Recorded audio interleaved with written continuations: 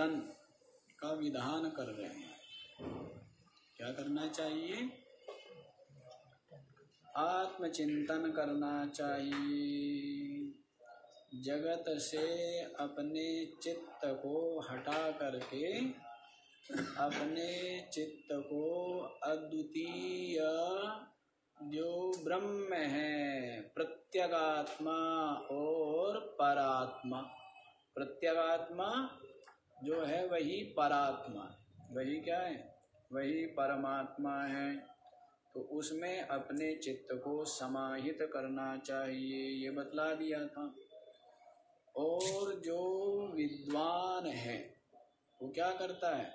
समाधि में समस्त विकल्प शून्य, निरुपाधिक, निर्विशेष सच्चिदानंद नित्य मुक्त जो परमात्मा है, उसका आत्म रूप से अनुभव कर लेता है। क्या करता है? आत्म रूप से अनुभव कर कर लेता है और ब्रह्म रूप हो जाता है। क्या हो जाता है?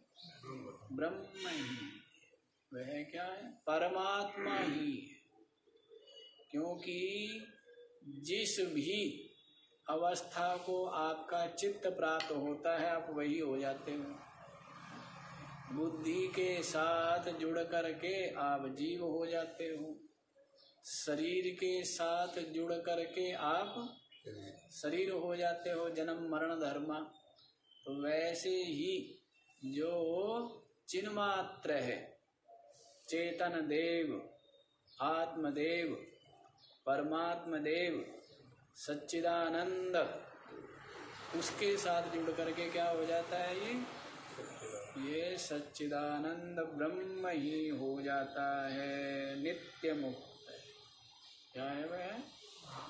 नित्य मुक्त है। तो ये बतला दिया है। बाकी बताते जा रहे हैं कि प्रकृति विकृति से शून्य है, कल बता ही दिया था। वो एक रस है। ये प्रकृति विकृति जो है ये सब विकार, प्रकृति, ये सब किसमें है? ये जगत में। ये अनात्मा में। आत्मा में नहीं है। समस्त भावनाओं से रहित जो एक रस है और किसी भी प्रमाण का विषय नहीं है ना? जो जो प्रमाणों का विषय होगा, वो वो परिचिन्न होगा। सीमित तो होगा, नश्वर होगा। जो हम आँखों से देख रहे हैं, जिस परमात्मा को, वो परमात्मा कैसा है? नश्वर। जो आँखों से परमात्मा दिखेगा, दिखता है वो परमात्मा कैसा? वो सीमित है, वो नश्वर है, वो एक देशी है। है ना? केनोपनिषद में क्या आया? यही तो आया है केनोपनिषद में। क्या आया है? नेदम यदिदम उपासते तदेव ब्रह्म तम विद्धि नेदम यदिदम उपासते जिसकी इदम इदम रूप से उपासना की जा रही है, वह ब्रह्म नहीं हो। इदम माने ये। इदम माने ये। जो भी साकार समझ लो, है, जितना भी सगुण है, साकार है वो सबका सब क्या है? सबका सब परिचिन्न एक देशी। इंद्रियों का विषय। अब जो इंद्रियों का विषय है परिचिन्न है, वो सबका सब क्या है? विनाशी सबका सब उत्पत्ति मरण धर्मा है। चाहे वो कोई भी है। तो इसलिए वो परमात्मा नहीं हो सकता। कौन कहता है? वेद घोषणा कर हैं कौन घोषणा कर रहे हैं? वेद घोषणा कर रहे हैं। यद इदम रूपेण उपासते, तद ब्रह्म न। जिसकी इदम इदम रूप से उपासना की जा रही है, वो ब्रह्म नहीं है। ब्रह्म क्या है? ब्रह्म तो वही है कि जिसकी सत्ता से प्राण प्राणन क्रिया कर रहे हैं, जिसकी सत्ता से चक्षु समस्त दृश्य को देख रही है, जिसकी सत्ता से श्रोत्रेंद्रिय शब्द का श्रवण करती है, जिसकी सत्ता से ग्रहण इंद्रिय गंध का ग्रहण करती है, जिसकी सत्ता से ये जो रसनेन्द्रिय है, रस का ग्रहण करती है, जिसकी सत्ता से त्वगेंद्रिय स्पर्श का ग्रहण करती है, जिसकी सत्ता से ये मन समस्त अभीष्ट विषयों का चिंतन करता है, वो जो सत्ता रूप चेतन है, वही ब्रह्म है, वही क्या है? वही परम। लेकिन उस निर्विशेष जो परमात्मा है निराकार उसको पकड़ने में स्थूल बुद्धि वाले साधक कठिनाई का अनुभव करते हैं। हम्म, कठिनाई का अनुभव करते हैं तो उनके लिए शुरू में विविध साधन बतला दिए जाते हैं। है ना? इस प्रकार से क्या करो? संसार से चित्त को हटाओ, उससे पहले चित्त को निर्मल बनाओ, हैं संसार के राग से रहित करो? हम्म? पहले तो ये कहा जाता है, फिर इसकी चंचलता कुछ कुछ अपने आप ही मिटने लगेगी अब कुछ जो है, किसी लक्ष्य में, किसी उपास्य में इसके चित्त को स्थिर कर दिया जाता है तो जब चित्त स्थिर हो जाता है, संसार का राग गली तो हो गया, चित्त की मलिनता दूर हो गई, चित्त जो है शांत तो हो गया है, और एकांत में, चिंतन में जिसको सुख का, आनंद का अनुभव होने लगा। अब आपके लिए तो एकांत मौन किसी किसी लोगों के लिए तो क्या है? सजा है। बहिर्मुखी लोगों के लिए क्या है? हाँ? मैं देखता हूँ मौन रहना बड़ा कठिन है लोगों के आश्चर्य की बात है। बोलने में थकते नहीं क्या? है हाँ? बोलना किस लिए? काम की बात हो तो बोलो नहीं मौन रहो। चिंतन करो भजन करो। है? तो मौन ही नहीं रह सकते। एकांत में रहना तो बहुत दूर। और संसार से अपने चित्त को हटा करके परमात्म चिंतन करना तो बहुत दूर। और सब ओर से मन बिल्कुल विचार शून्य होकर के परमात्मा में विलय हो जाए तो बहुत दूर की बात है। ये तो क्या है? बहुत दूर की बातें हैं बहिर्मुखी लोगों के लिए तो। इसलिए कह, कह दिया है ना देहवद भी क्या बताया है? क्लेशोधिकतर अव्यक्ता सप्त चेतसाम क्या बताया? जो देहधारी है द्वादश अध्याय गीता जी बताया है ना? क्लेशोदिक तरस्ते शाम क्या है बोलो? चेतसाम अव्यक्ता सक्त चेतसाम अव्यक्ता की गतिर दुखम देहवत भ्रवाप्यते हम्म। देहवत भी देहधारियों के लिए। है? तो देहधारी जो है शरीर धारण करके और शरीर में चित्त लगा रहता है हर समय। तो इसलिए बुद्धि कैसी हो गई है? शरीर आकार बुद्धि कैसी हो गई है? जितना मोटा आपका शरीर उतनी मोटी बुद्धि। अब इतनी मोटी बुद्धि परमात्मा में प्रवेश कर पाएगी? अब आप देख कितनी मोटी बुद्धि? और बहुत मोटी बुद्धि आपकी तो इतना बड़ा परिवार, इतना बड़ा धन, इतना बड़ा अहंकार, है?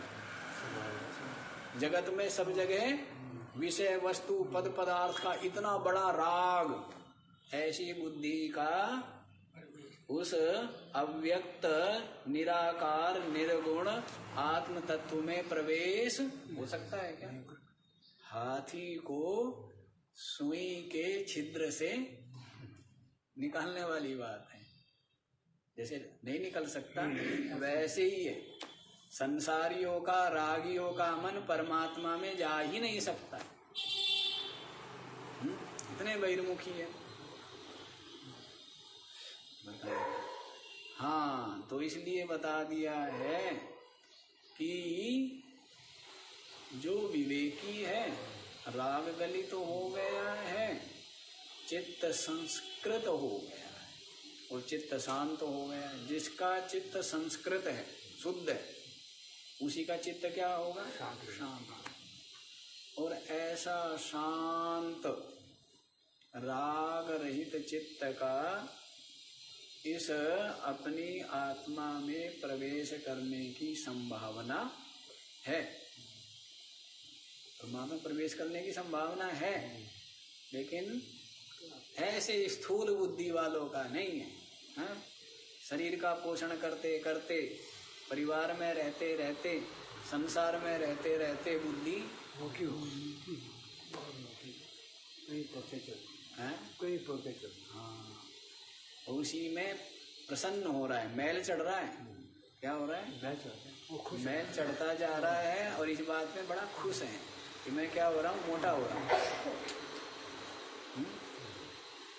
परिवार हो गया है जाल जंजाल बढ़ गया पद प्रशंसा प्रसिद्धि मिल गई। तो उसमें क्या होता है? प्रसन्न होता है ना।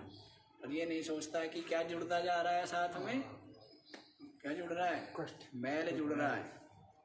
हम्म? क्या जुड़ रहा है? मैल जुड़ रहा है। हाँ ये मैल जुड़ता जा रहा है। तो इनसे क्या मिलेगी? अशांति मिलेगी। शांति मिलनी नहीं।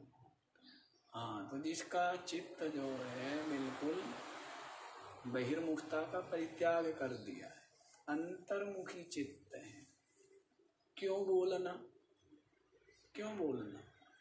सार्थक बातें बोली जाए। जो आवश्यक है। या कुछ सत्संग की बातें विचार की जाए हम्म? तो बोला नहीं जाए, एकांत। एकांत का मतलब ये नहीं है कि कहीं गुफा में घुस के बैठ जाओ। वहाँ तो आप पूरा सब कुछ लेके जा रहे जैसे कोई आदमी मोबाइल लेके चला जाए एकांत में तो वो क्या लेके जा रहा है?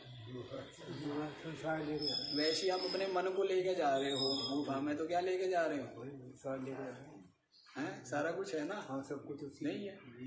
मन को ले मन को छोड़ के जाओ ना। मन जो बहिर्मुख है राग है उसको छोड़ के जाओ। फिर क्या है? हाँ। कह रहे एकांत में जा रहे हैं। और क्या भजन क्या हो रहा है? संसार का ही भजन हो रहा है। तो ऐसा नहीं है। अब किसी को कोई नहीं चाहिए। बस क्या चाहिए? मोबाइल चाहिए। और क्या चाहिए? पिता चाहिए माता चाहिए भाई चाहिए बहन चाहिए स्त्री पुत्र आदि कुछ नहीं चाहिए क्या चाहिए? और फिर कहें हमें महीना भर भले ही एकांत में छोड़ दें तो रह जाएगा। तो एकांत हुआ क्या? ही है पूरा का पूरा संसार लेके गया। है तो वैसे ही आपका मन इसमें तो सब कुछ। मोबाइल मोबाइल वाला तो डिलीट हो भी जाता है। ये ये डिलीट हुआ। और ये जो मन में भरा हुआ है ना कितना भरा हुआ है? इन्फिनेटिव कितना भरा है? अनंत भरा हुआ है। इसको खाली करो। इसको क्या करो? खाली। संसारियों का संग ना करे बहिर्मुख ना हो शांत रहे स्वाध्याय परायण रहे चिंतन परायण रहे है ना? तो उससे क्या होगा? ये चित्त संस्कृत हो जाएगा हम्म, शांत हो जाएगा। तब तब एकांत हुआ। तब क्या होगा ये? तब एक तब एक इसलिए समझ लो जो अव्यक्त ब्रह्म है उसमें कठिनता का अनुभव करते ही है संसारी। स्वाभाविक ही है क्योंकि बुद्धि स्थूल है भगवान भी वैसे ही चाहिए। हैं लोक पर लोक भी वैसे ही चाहिए जिसमें खुद रहता है हैं? शरीर में रहता है शरीर को मैं मानता है तो भगवान भी शरीरधारी चाहिए हैं? और वैसा ही चाहिए सब कुछ खेल तमाशा। तो वो सबका सब क्या है? नश्वर है। सबका सब क्या कह रहा है वेद? नश्वर है। सबका सब नश्वर है परिचिन्न है इंद्रियों का विषय होने से सबका सब मरण धर्म। तो इस बात को जो समझ लेता है साधक, वो आगे बढ़ता है। और आगे किसके लिए बढ़ता है? अव्यक्त के अभी तक व्यक्त में उलझा हुआ था। व्यक्त शरीर, व्यक्त संसार, व्यक्त ही भगवान। भगवान भी कैसे चाहिए? व्यक्त ही चाहिए ना, जिसके मूर्ति हो। मूर्ति कह दो, चलो। मूर्ति और अमूर्ति। एक तो अमूर्त है अमूर्त माने वही अव्यक्त माने निराकार और मूर्त माने व्यक्त सा, साकार आकार वाला। तो अमूर्त जो परमात्मा मूर्त में है ना स्वयं मूर्त मानता है पर मूर्ति मूर्ति चाहिए। क्या चाहिए? मूर्ति मूर्ति। चाहिए? लेकिन जो अमूर्त है मूर्ति सबकी सब टूटने वाली है। सबकी सब मूर्ति क्या है? धराशायी होने वाली है मिटने वाली है और अमूर्त रह जाने वाला है। अव्यक्ता निधनान्येवा तत्र का परिदेवना। बोला है ना? जी। अव्यक्त आदीनि भूतानि व्यक्त मध्यानि भारत। हाँ जी क्या बोला है? गीता के पंडित बैठे देखो हमारे पास। अव्यक्ताधीनि भूतानि व्यक्तमध्यानि भारत अव्यक्त निधनानि तत्र का परिदेवना कहीं कहीं पंडित है। आदीनि भूतानि अव्यक्ता। आदि में है प्रथम। सृष्टि से पूर्व कह दो जन्म से पूर्व कह दो अज्ञान से पूर्व कह दो जीव भाव से पहले कह दो एक ही बात। जिसको जैसे समझना जिसकी जैसी बुद्धि। हम तो जैसी बुद्धि वाला बैठेगा ना, उसको वैसा ही समझाएँगे। किसी को कहेंगे, जन्म से पहले। क्योंकि बुद्धि उतनी ही उसकी। किसी को कहेंगे, सृष्टि से पहले। उसकी बुद्धि थोड़ी सी ज़्यादा है। किसी को कहेंगे, जीव भाव से पहले। उसकी थोड़ी सी और बड़ी है। किसी को कहेंगे, अज्ञान से पहले। तो उसकी थोड़ी सी और बड़ी है। तो हमें देखना पड़ता है। हम सबकी बुद्धि को पढ़ना जानते हैं ना, कि खोपड़ी रखी हमारे सामने और किसकी खोपड़ी जैसी आ जाए। मैं कितनी कितनी है, उस हिसाब से देना पड़ता है। हम्म? तो अज्ञान से पूर्व आदिनि भूतानी। आदि के देखो, इतने अर्थ हो गए हम्म? आदि माने पहले। अब पहले का अर्थ, कितने लगेंगे? किसी को कहेंगे दस साल पहले, जिसको दस साल तक की बात याद होगी, उसको कहेंगे दस साल पहले।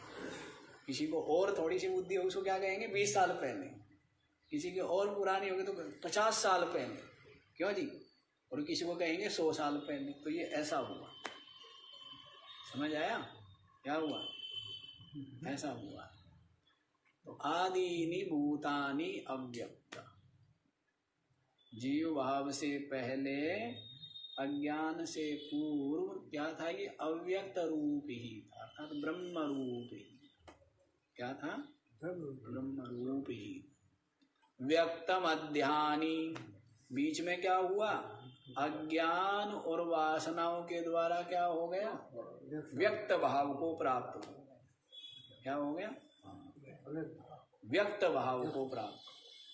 और फिर क्या बताया? अव्यक्ता निधनानी। अब यहाँ भी निधन भी अलग अलग है। किसी का निधन क्या है? मरना निधन है। हैं? किसी का निधन क्या है? हैं? जीव भाव का नष्ट होना अज्ञान का नष्ट होना वो निधन है। अलग अलग जिसकी जैसी बुद्धि। गीता में तो वैसे आदिनी का अर्थ जन्म से पहले कह दिया है और निधन का अर्थ मरण के पश्चात कह दिया है। लेकिन हम क्या कह रहे हैं? अज्ञान से पूर्व और अज्ञान नष्ट होने के पश्चात। ब्रह्म ही है। ब्रह्म ही था बीच में जीव भाव। भ्रांति से स्वीकार कर लिया। और फिर गुरु प्रदत्त ज्ञान से क्या हो गया? फिर ब्रह्म भाव की प्राप्ति हो गई। नित्य ही मुक्त हो गया। क्या हो गया? नित्य मुक्त मुक्त। तो देख लो मुक्ति को पाना है तो लगाओ ज़ोर। आप ज़ोर लगाते नहीं, कहते जहाँ सारा ज़ोर आप ही लगा दो। हाँ? हम तो बहुत ज़ोर लगाते हैं, नहीं लगाते हैं। हाँ? हमारे ज़ोर लगाने में कोई कोर कसर नहीं है, लेकिन आप तो ज़ोर बिल्कुल नहीं लगाते हो, है ना? तो इसलिए कीचड़ में धसा रहता है। जैसे कोई गाड़ी वाहन है, बैलगाड़ी है किसी की, है? और क्या हो गई? कीचड़ में धस गई। अब वो निकालना चाहता है, बैल धसे हुए है, गाड़ी धसी हुई है, ज़ोर लगाते लेकिन बैल ज़ोर लगाती ही नहीं तो क्या होगा? हैं? वे बैल कहाँ धसे रहेंगे? वैसे ही है कि महात्मा तो क्या है, ज़ोर लगा रहे हैं कि आपकी गाड़ी निकल जाए गाड़ी आपकी धस रही है, हमारी नहीं धसी हुई है, कभी आप समझो। है ना? गाड़ी किसकी धस रही? हाँ इसलिए ज़रूर बजना है। अलार्म दिया हुआ है क्या? इतना ये तो गड़बड़ करते हो आप लोग ये सबके बंद कराने पड़ेंगे इसका मतलब ये हो गया। ये रखवाने ही पड़ेंगे क्योंकि इनसे व्यवधान पड़ता है। इनको सबको बंद करके लाया करो ये सबसे बड़ा अपराध माना जाएगा। यदि किसी के भी फ़ोन बजे तो ये अपराध है।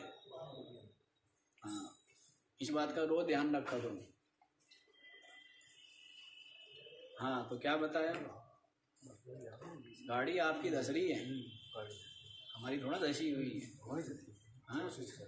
तो आपकी गाड़ी निकालने का हमने भाई आपसे तो निकल नहीं रही है ज़ोर लगा लिए। तो आपने हमारे से सहायता मांगी है। तो हमने कहा चलो ज़ोर लगाते हैं। तो आपने कह दिया गुरुजी आप ही लगा दो बस। तो आप नहीं लगाओगे तो क्या होगा? गाड़ी दसी खड़ी रहेगी। कीचड़ में आपको धसा रहना है हमें तो। बाबा जी का क्या? बाबा जी तो आगे बढ़ जाते हैं। बाबा जी का क्या होता है? बता दिया। आगे बढ़ जाते हैं ना? भाई धक्का लगाने वाला तो देखेगा ठीक है निकल रही है तो ठीक नहीं निकल रही है तो थोड़ी बहुत देर बाद आगे बढ़ जाएगा। और परेशान जो धसा हुआ है उसको। तो इसलिए निकल चलो और नहीं तो फिर आगे सारा लगाने वाला मिलने वाला नहीं है। ये देख लो। अच्छा जी यहीं पर आइए। क्या बताया है? 410 तो हो गए ना? हाँ जी चार सौ ग्यारहवा देख। अजर ममरा अजर ममरास्ताभास वस्तु स्वरूपम्। स्मितसलिलराशि प्रख्यमाख्याविहीनम्। शमितगुणविकारं शाश्वतं शान्तमेकम्। हृदि कलयति विद्वान् ब्रह्मपूर्णं समाधौ। अजरम् अमरम् अस्ताभासवस्तुस्वरूपम् स्मितसलिलराशि प्रख्यमाख्याविहीनम्। शमितगुणविकारम् शाश्वतं शान्तमेकम्। हृदि कलयति विद्वान्। ब्रह्मपूर्णं समाधौ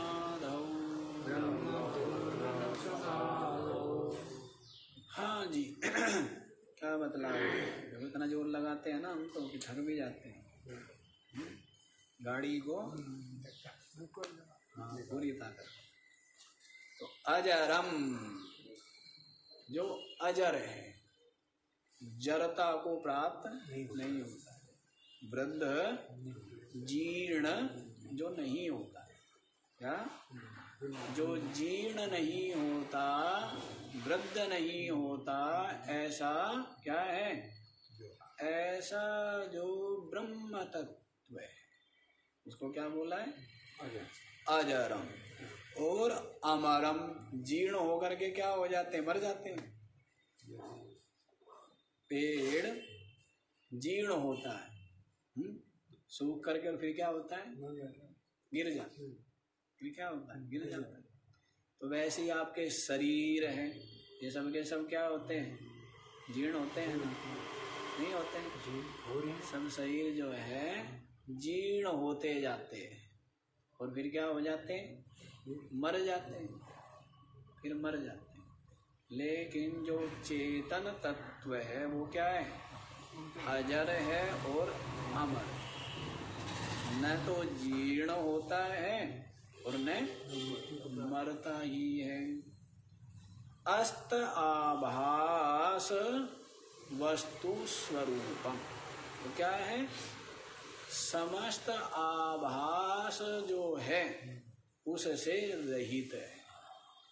सारा का सारा द्वैत दृश्य आभास की जिसमें सत्ता जहाँ पर क्या हो जाते अस्त हो जाते विलय हो जाते लेकिन फिर भी वो रह जाता है। सबके विलय हो जाने के पश्चात भी, नष्ट हो जाने के पश्चात भी जो रह जाता है, वो क्या है? वो अपना आत्म तत्व आप अविनाशी हो और ये सब का सब नाशमान बोला है ना? अपनो स्वरूप देख। ऐसे, तू तो शुद्ध ब्रह्म अज दृश्य को प्रकाशी है। हैं? कैसे है? तू तो शुद्ध ब्रह्म अज दृश्य को प्रकाशी है। अपने अज्ञान से जगत सब तू ही रचे। सर्व का संहार करे आप अविनाशी है। मिथ्या प्रपंच देख दुख जानी आनी, या देवन को देव तू तो सर्व सुख राशि है। शुरुआत कैसी बताई थी? अब ये काम में हथियार तो बहुत है हमारे पास, पर जो हथियार है ना, वो काम में नहीं आते हैं। हैं? फिर हमने कहा, जब शत्रु नहीं है तो हथियारों का करना भी क्या? हैं हथियार तैयार किसको रखने पड़ते हैं? पहना वहना करके। हैं? जिसको लड़ना हो। अब जिसको लड़ना ही नहीं है। बोला हमें लड़ना नहीं है ना? तो लड़ना नहीं है इसलिए जो जैसे है वैसे ऐसे ही काम चला लेते हैं। लड़ना हो तो फिर क्या करें? हम्म, तैयारी करके रखें। तो हमने लड़ना वड़ना छोड़ दिया है। जैसा है वैसा ही ठीक है। क्या बताया है? हम्म, मिथ्या प्रपंच देख दुख जानी आनी ये सारा तो सारा का सारा प्रपंच क्या है मिथ्या? देवन को देव तू तो सर्व सुख राशि। तू क्या है? देवों का भी देव है। क्या है? देवों का भी देव है ना? और उनका भी देव। ये जो देव है जो प्रकाशित करती है इंद्रिया इंद्रिया भी देव है। हैं जैसे सूर्य देव है ना प्रकाशित कर रहा है। सारे जड़ पदार्थों कौन प्रकाशित कर रहा है? सूर्य। सूर्य प्रकाशित कर रहा है। इंद्रिया भी देव है अपने अपने विषय को प्रकाशित करती है। लेकिन इन सबको कौन प्रकाशित कर रहा है? सूर्य चमक रहा है या प्रकाश या अंधकार रूप है कौन जानता है? मैं जान रहा हूँ। वैसी आँखें देखती है सुनती है तो ये सब क्या है? हैं? हाँ? तो ये सब जो है इन सब का प्रकाशक कौन है? इन सब का प्रकाशक? हाँ। तो मैं चेतन हुआ ना। हाँ तो इस तरह देव का भी देव हुआ ना। क्या हुआ? हूँ। देव का भी देव अपने अज्ञान से जगत सब तू ही रचे सर्व का संहार करे आप अविनाशी है। अपने अज्ञान से जगत बन जाता है। स्व के अज्ञान से जगत क्या होता है? बन जाता है। जगत बन जाता है। जैसे बुद्धि की भूल से क्या भासने लगता है? स्वप्न भासने लगता है और दुखी सुखी होता है। इस उस स्वप्न में बुद्धि पे पत्थर पड़ जाते हैं तो स्वप्न में क्या होता है? ठीक ठाक लेटा हुआ है सुरक्षित है दरवाज़ा बंद है और क्या देखता है? जंगल में हूँ और घिरा हुआ हूँ जंगली पशुओं से। कष्ट पा रहा हूँ। हम्म? घायल हूँ कांटा लगे हुए हैं। भूखा प्यासा हूँ सर्दी में ठिठुर रहा हूँ ऊपर ओढ़े हुए रजाई इतनी मोटी है और क्या अनुभव कर रहा है? सर्दी में? हाँ, क्लेश पाता है ना। किससे? बुद्धि की व्यामोह से। इसी प्रकार से। इसी प्रकार से हाँ देखो आपको स्वप्न से जगाना कितना कठिन काम हो। गया क्यों आप जगना ही नहीं चाहते आप स्वप्न देखना चाहते हो जगना चाहते हो देखना चाहते हो। आनंद आ रहा है ना स्वप्न में? हाँ? स्वप्न, बालक को स्वप्न आ रहा है। बालक को स्वप्न आ रहा है। हैं? और माता उसको जगाती है, बालक को कि भाई, सुबह प्रातः काल का समय, और बालक को क्या आ रहा है? स्वप्न आ रहा है, छुट्टी पड़ गई। स्कूल की क्या हुई? दस दिन की छुट्टी हो गई है। बालक को तो बड़ा आनंद आ रहा है। हैं? और मैं खेल रहा हूँ। लेकिन माता उसको जगाती है कि भाई हो विद्यालय का समय हो रहा है। तो वो जगना चाहता है क्या? नहीं। उसको तो आनंद आ रहा है। सब कुछ आनंद ही आनंद का काम हो रहा है। छुट्टी पड़ गई।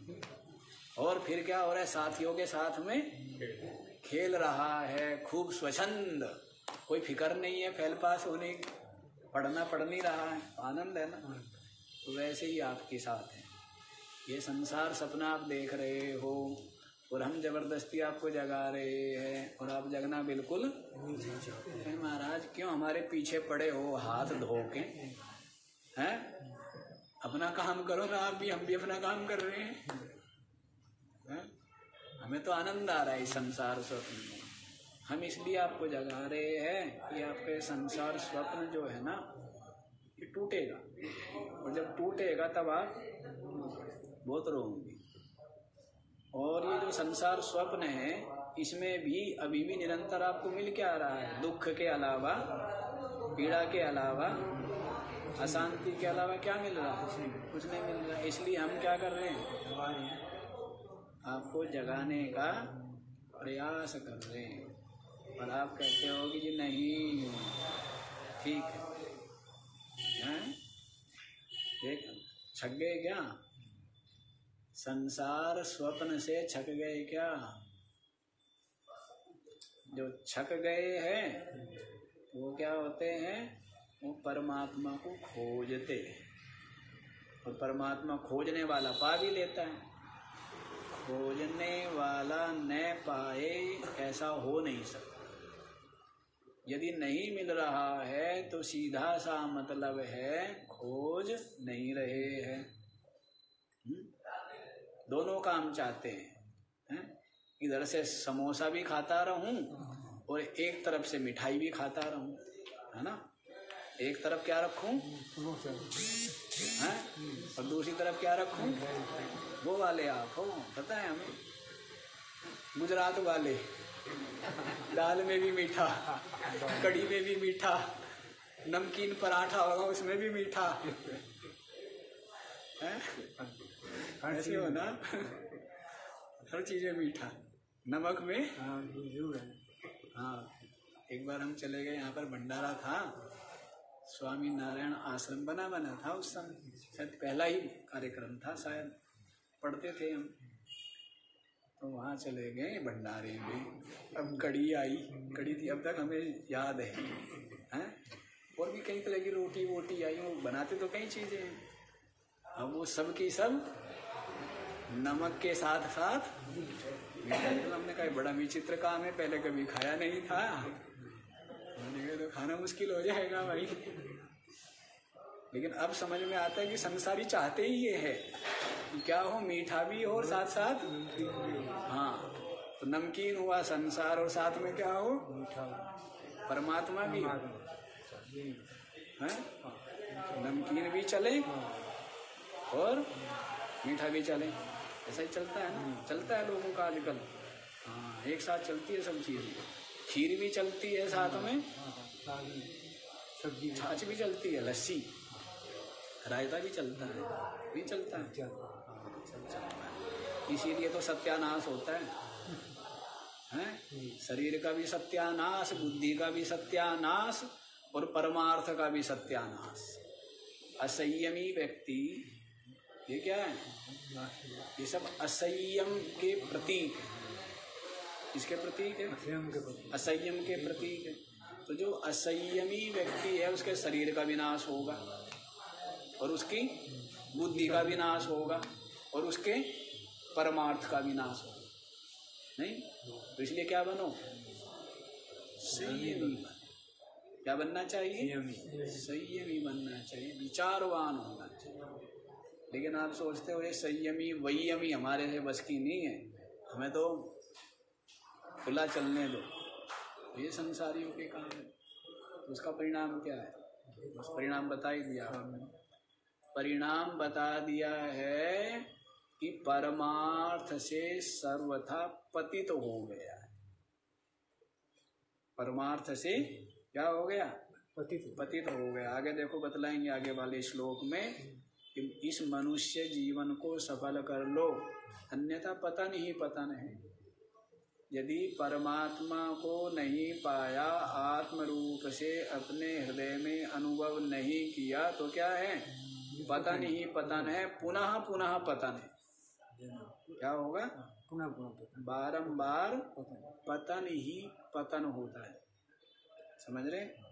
चलिए यहीं पर आओ। क्या बताया है अस्त आभास रूपा। तो सारा का सारा ये जो आभास है उस परमात्मा में ये क्या हो गया? अस्त हो गया।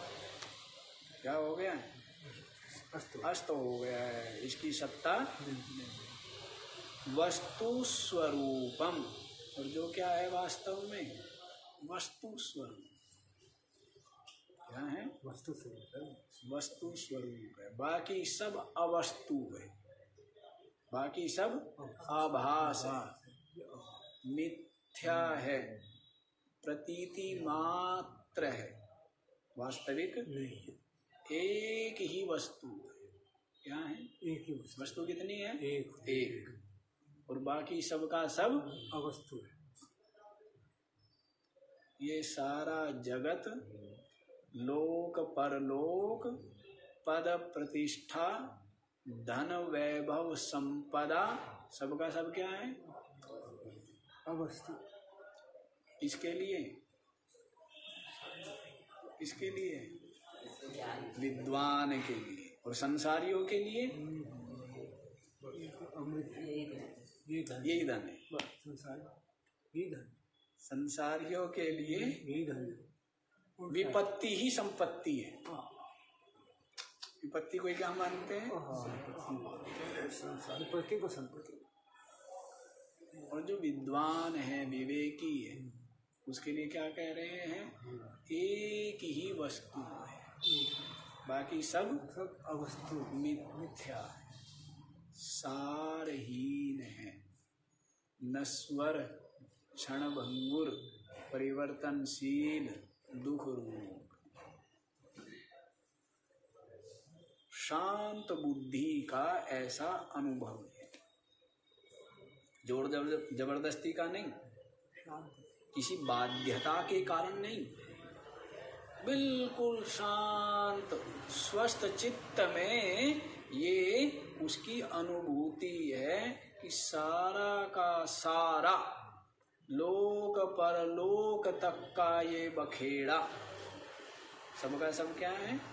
बंधन रूप दुख रूप है। ऐसी स्वस्थ चित्त में उसका अनुभव है। तो इतना बड़ा पद जिसने पा लिया उसने क्या समझा? उसने परमात्मा को पाई लिया और परमात्मा पाना भी कुछ बाकी रह गया? वही है। इस अवस्था को जिसने पा लिया हम संसारी लोग छोटी छोटी चीज़ों में लुब्ध और मुग्ध रहते हैं। छोटी छोटी पद प्रशंसा में क्या रहते हैं? मोहित रहते हैं।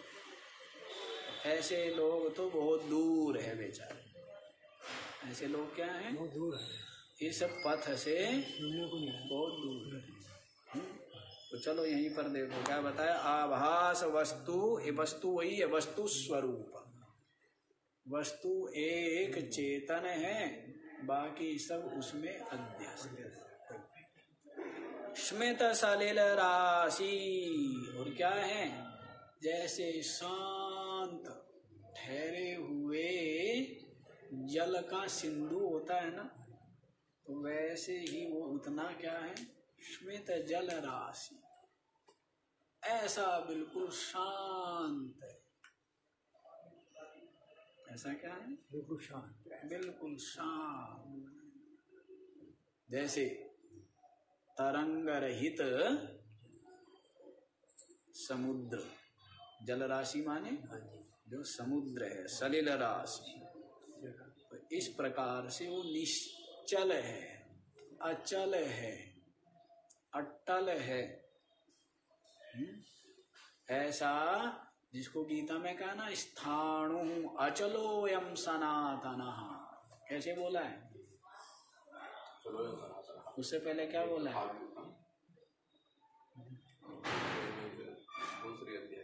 दूसरे अध्याय में। पहले वाला नहीं आता बाद वाला तो हम भी सबको पंडित का मतलब तो है ना कि आगे वाला भी सुनाए?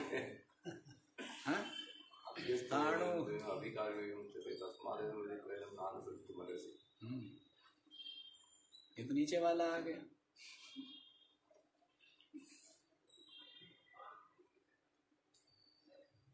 अविनाशी कैसे है? अविनाशि तद्विद्धि येन सतुविदन्तितं विनाशमव्ययायस्य न। कश्चित् कर्तुमर्हति अन्तवन्तै मे आदित्यस्य उक्ता शरीरेण अनाशिनो प्रमेयस्य तस्मात् युद्धस्व भारत एनं वेत्ति हन्तारं यश्चैनं मन्यते कथम्। उभौ तौ न विजानीतो नायं जायते म्रियते वा कदाचित् नायं भविता वा वेदाविनाशिनं कम वासांसि यथा नहीं बहुत दूर पहुँच गए बाबा जी दूर निकल गए आप हम्म, स्टेशन दूर चले गए क्या? पच्चीस के बाद आएगा शायद नानी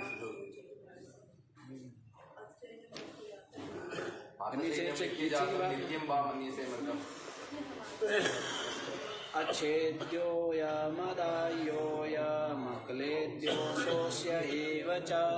की बात- नित्यं वा मन्यसे मृगम् अच्छेद्यो यमदायो यमक्लेद्यो सोऽस्य एव च नित्यः सर्वगतस्थाणु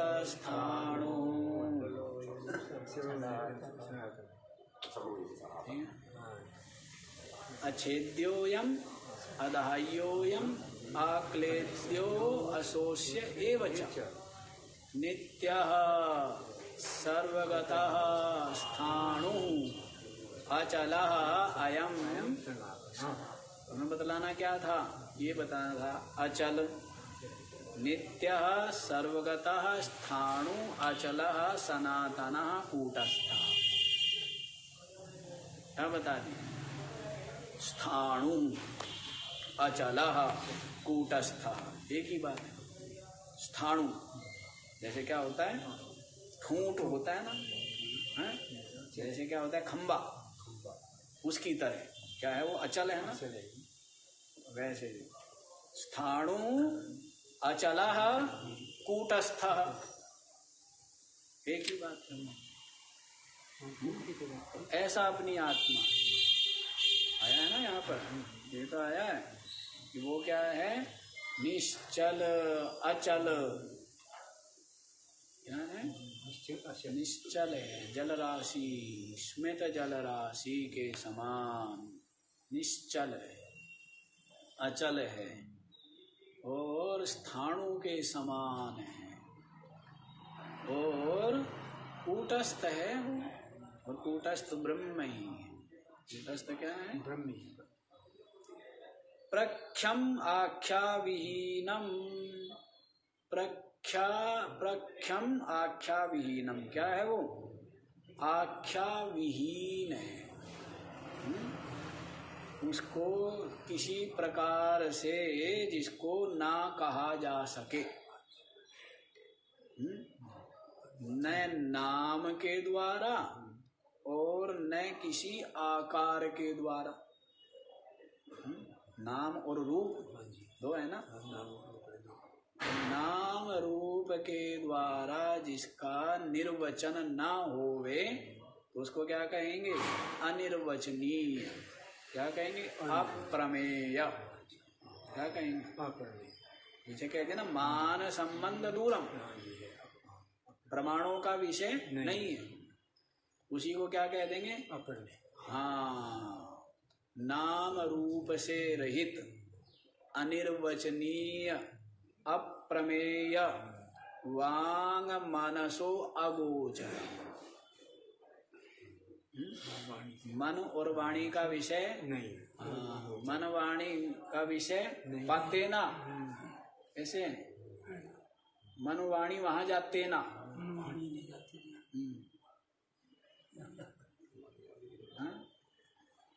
है? ना? ऋषि मुनि सिद्ध पार पाते ना? वाणी की गति बतलाते ना। मन समझ के निर्द्वंद हुआ ऐसे नहीं है? मन समझ के हम्म। समझ गया सो गुम हुआ गम रहना फिर बोलन वगैरह ऋषि मुनि सिद्ध पार पाते ना। सकता। वाणी की गति बतलाते ना। उसको बताना है ना हमें। देखो मैं सबका ले लेता हूँ मेरा इनके किसी के पास नहीं है। रावण जी बुला ले। है ना ऋषि मुनि सिद्ध पार पाते ना वाणी की गति बतलाते ना हैं? मन समझ के निर्दुम निर्द्वंद हुआ। ये कुंजी पट खोलन की समझ गया सो गुम हुआ गम रहे न फिर बोलन की। वक्ता से लगता होते हैं। हम्म। लगता हुए गम सोते हैं। बेगम सोते विक्षेप और मल धोते हैं। ये ज्ञान स्वरूपी खुम हुआ ये छुटी आरत बाहर डोलन की सुषमन सैया सेज विराजे। सुखमन सिया से विराजे। आठ पैर बजे अनहद बाजे। कोटि कोटि ब्रह्मांड लाजे। हाँ। मन समझ के निर्दम हुआ हाँ। ये कुंजी पट खोलन की। शंकर दुखिया दुखिया सब सब संसारा सुखिया तो नाम धारा छंद उतारा दाता बन के सोम होया ये तकड़ी सत्तोलन की। जो समझ गया सो गुम हुआ। गम रहे हाँ, ये सब जो है वाणी है। और ऐसी वाणी है देखो प्रभाव होता है। संतों की वाणी का ही प्रभाव होता है। इसी बात को मान लो वेद कह रहे हैं। इसी बात को शास्त्र कह रहे हैं। क्योंकि जैसे हमने वेद में पढ़ लिया। शास्त्र में पढ़ लिया लेकिन वो निश्चय नहीं होता है। लेकिन फिर वही बात संतों को लौटा किसी संत की वाणी में आ जाए क्योंकि वो इतनी स्पष्ट होती है और इतनी दृढ़ होती है। पता नहीं क्या कारण से हमने जो अनुभव किया तो वो बिल्कुल ऐसे हो जाती है कि जैसे चाहे वो निश्चय की बात हो चाहे वो अनुभूति की बात हो। हमने स्वयं से तो अर्थ निकालते ही रह जाते हैं। क्योंकि हमने स्वयं अनुभव किया चाहे वेद हो चाहे स्मृति ग्रंथ हो वो पढ़े पढ़ाए लेकिन ऐसा निर्भीक निश्चय नहीं होता है। लेकिन जब संतों की वाणी तो वो ऐसा बिल्कुल दृढ़ कर देती है जो ठहरे देखो अभी कितनी बड़ी बड़ी बात सीधी। कोटि कोटि ब्रह्मा स- शिव लाजे करोड़ों करोड़ों ब्रह्मा शिव भी उसकी शोभा को देख करके क्या हो जाते हैं? अपने आत्म स्वरूप की। इसकी शोभा? लज्जित हो जाते हैं। हाँ। करोड़ों करोड़ों ब्रह्मा विष्णु शिव भी अपने आत्म स्वरूप की शोभा के सामने चेतनता के सामने प्रकाश के सामने निस्तेज हो जाती हम्म? तो ये बहुत गहरी बात तो वही समझेगा ना, जो इस पथ पर अत्यंत दृढ़ता के साथ चला चला नहीं है, बढ़ा बढ़ा नहीं है, पहुँच के अनुभव किया है तो उसको ये बातें सुन करके क्या होता है? संतोष का अनुभव होता है, आनंद का अनुभव होता है। आप लोगों को तो विचित्र लगेगी। कह क्या रहे हैं? लेकिन उस वो जानता है कि हाँ वास्तव में तो उसकी क्या होता है उसकी अनुभूति का विषय। हम्म? तो भाई ये है वाणी मन वाणी की गति बतलाते ना। मन और वाणी वहाँ नहीं जाते हैं इसी बात को बता रहे हैं। प्रख्यम आख्या विहीनम। क्या है वो? प्रख्यम और आख्या से रहित है। ना तो उसका नाम है और न उसका कोई आकार है। इनसे रहित होने से वाणी मन का अविषय। अनिर्वचनीय। क्या है? शमित गुण विकारम। जितने भी प्रकृति के गुण हैं, उनका जो विकार है, प्रकृति के गुण, त्रिगुणात्मिका ये प्रकृति है और सब कुछ इसका ही विकार है। सब कुछ क्या है? इन गुणों का ही तो विकार है। लेकिन जिसके हृदय में समस्त प्रकृति के गुण विकारों के सहित क्या हो गए हैं? शमित हो गए हैं शांत हो गए हैं भस्म हो गए क्या हुआ है? भस्म हो गए? प्रकृति के गुण विकार के सहित। क्या हो गए? शमित। शमित का मतलब शांत कहने में उतना संतोष नहीं एक तरह से भस्म हो। हैं? भस्म हो गई? अच्छा भस्म होना नहीं जानते क्या? जो कांटे थे भाले थे वो सब के सब जला दिए आपने। अब क्या हो गए वो जो चुभ रहे थे सूल वो सब भस्म हो गए राख हो गए। तो अब अब कोई कष्ट नहीं रहा हाँ। पुनः उनके उत्थान की संभावना भी नहीं है। हम्म? हाँ, इसलिए कह दिया है शमित गुण विकारम। प्रकृति के गुणों का विकार जो है सारा का सारा उपाधि वर्ग चाहे वो विषय वस्तु हो और चाहे वो आपका शरीर इंद्रिया प्राण अंतकरण हो सबके सब क्या है? विकार है। सब गुणों के ही विकार है कार्य है। इसका कार्य है? गुणों का कार्य गुणों का ही कार्य है ना? तो ये सब के सब क्या हो गए? शमित हो गए अपने स्वरूप में। अद्वितीय रह गया ना? क्या रह गया? अद्वितीय ब्रह्म तत्व रह गया है तो सबके सब उसमें शमित हो गए हैं। भस्म हो गए। शाश्वतम जो क्या है? शाश्वत है नित्य है। क्या है? नित्य है। शाश्वत तत्व चेतन तत्व। शांतम एकम जो क्या है? परम शांत। जो क्या है? परम शांत। परम शांत है एक है। ऐसे पूर्ण ब्रह्म को ये सब ब्रह्म के विशेषण है। ये सब क्या है? ब्रह्म के ब्रह्म कैसा है? अजर है अमर है और समस्त भेद आभास से रहित है। और जो वस्तु स्वरूप है जो क्या है? वस्तु स्वरूप और स्मित जल राशि के समान बिल्कुल निश्चल है। ठहरे हुए जल के समान निश्चल। और नाम रूप से रहित है अनिर्वचनीय है। समस्त प्रकृति के गुण और उनके कार्य जिसमें क्या हो गए हैं? भस्म हो गए शमित तो हो गए समन हो गया शमन। हम्म? ऐसा शाश्वत ब्रह्म शांत एक पूर्ण ब्रह्म को विद्वान समाधौ हृदय कलयति। विद्वान समाधि में आत्म रूप से अनुभव करता क्या करता है? जो विद्वान है, उसको समाधि में आत्म रूप से अनुभव करता है। वह पूर्ण ब्रह्म सच्चिदानंद घन अजर अमर निश्चल परम शांत नाम रूप रहित। जो ब्रह्म है वह मैं। सारे सारे विषय लय हो जाते हैं। हाँ सांसारिक विषय सब लय हो जाती है आत्मा में। गंध नहीं है। क्या? द्वैत की दृश्य की गंध भी नहीं है। लय क्या हो जाते है? ही नहीं। ये तो जो संसारी है बैठा हुआ है अज्ञानी द्वैत प्रपंच में जो रहा उसको समझाने के लिए है अन्यथा तो है ही नहीं।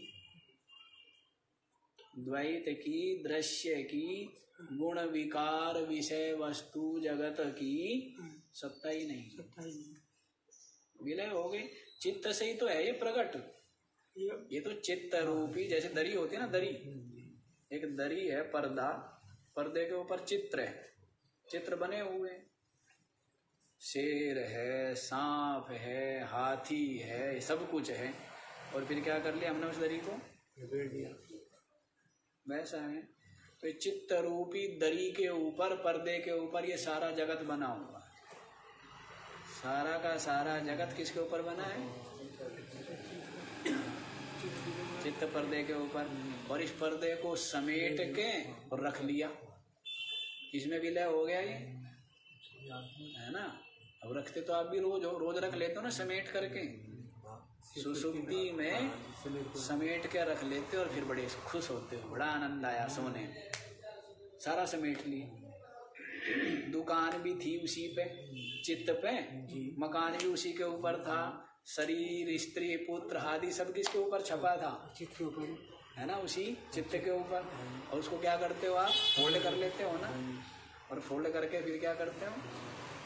लेकिन वो वासना लेके गई है। इन सारे द्वैत की क्या लेके गई? वासना लेके गई। तो फिर वो फिर खुल जाता है। जाता है। वो गुब्बारा? हाँ फिर दोबारा वही। है। लेकिन ज्ञान में क्या होता है? लिया वासना रहित तो हो कह गए हैं। क्या हो गए? वासना रही तो सारी की सारी वासनाएँ ज्ञान से पूर्व ही क्षीण हो गई।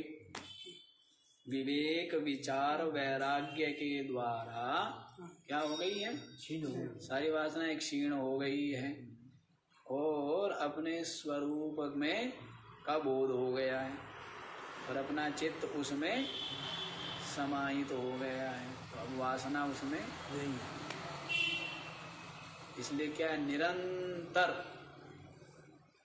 निरंतर सच्चिदानंद घन अद्वितीय ब्रह्म मैं हूँ ऐसी प्रज्ञा, ऐसा बोध, ऐसा ज्ञान निरंतर उसका बना रहता है निरंतर क्या बना है। उसकी ज्ञान शक्ति का कभी विलोप नहीं होता। नहीं होता। जैसे आप अपने को जानते हो मैं पुरुष हूँ स्त्री हूँ मनुष्य हूँ गृहस्थ हूँ साधु हूँ सेठ हूँ नौकर हूँ जानते हो ना? ये प्रज्ञा? ये ज्ञान बना रहता है। वैसे कभी लोभ तो नहीं होता? ना। खाते पीते बैठते सोते चलते। ये बात भूलते हो आप? नहीं। मैं मनुष्य हूँ या पुरुष स्त्री हूँ? भूलते हो क्या? वैसे ही जो बोधवान है उसका ये बोध निरंतर बना रहता है कि मैं अद्वितीय सच्चिदानंद। उसका ये बोध निरंतर बना रहता है। और ये सारा जगत क्या है? खेल है। सारा जगत खेल है। स्वप्न के समान प्रतीतिमान इसलिए निर्भय रहता है, निशंक। कोई शंका नहीं। निर्भय। समझे?